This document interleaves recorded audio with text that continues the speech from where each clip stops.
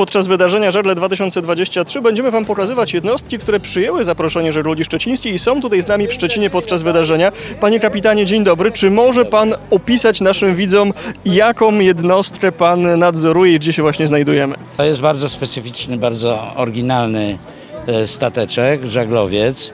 Jest drewniany, nosi imię generała Zaruskiego nie bez powodu, dlatego że generał Zaruski przed wojną zamówił takich jednostek w Szwecji 10. Ideą Zaruskiego było to, żeby e, przed wojną stworzyć jak największą kadrę, bo, która mogłaby pracować generalnie w administracji morskiej, prowadzić statki. Także tu wszystko jest, e, wymaga e, zespołowej pracy, takiego teamworku, co daje szansę, żeby ta załoga się ze sobą jakoś zjednoczyła, żeby wspólnie przeżywali tę konfrontację z morzem.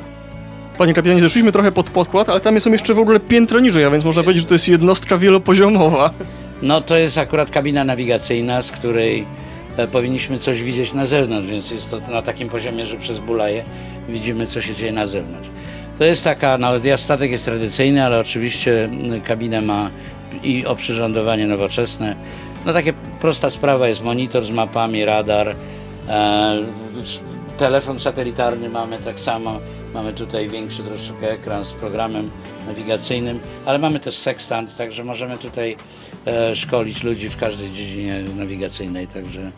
No i teraz jak widzicie jest dosyć ciasno, nie ma żadnego krzesła, żeby tutaj nikt nie siadał i nie zasnął w czasie, w czasie podróży. Mamy też mapy normalne, tradycyjne. Mamy też bardzo ciekawy tutaj mm, y, dziennik jachtowy, który jak widzicie jest ze skóry, jest dedykowany dla nas specjalnie.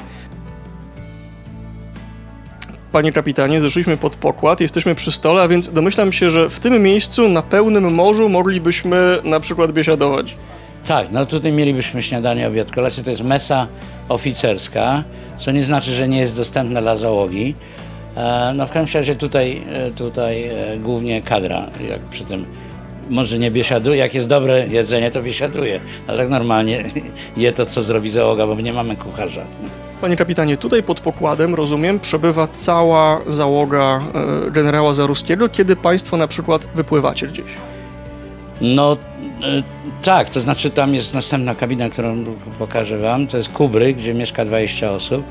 E, No i między innymi ten cały side training polega na tym, żeby oni e, dali radę, tak? Mieszkając razem zmie- przy zmieniających się wachtach, żeby po prostu mm, dbali o siebie, o to, żeby też wypoczywać i bawić się i między sobą się integrować. Na tym to polega. Jeżeli chodzi o rejsy, to najwięcej osób jednocześnie, e, ile przebywa? e, 25 osób w morzu, bo tyle mamy koi. 26 koja jest tutaj, jako taka zapasowa, pilotowa. Także ponieważ mamy tyle koi, to tyle pływamy e, na pełnym, w pełnym morzu, w pełnej, pełnej żegludze. 25 dni, 25 osób, e, jednocześnie przez ile dni musi czasami tutaj przebywać w Kubryku? No to zależy. No, jak w, tej, w tym sezonie zaczęliśmy mm, takim pięciotygodniowym rejsem z młodzieżą z ośrodka socjoterapeutycznego.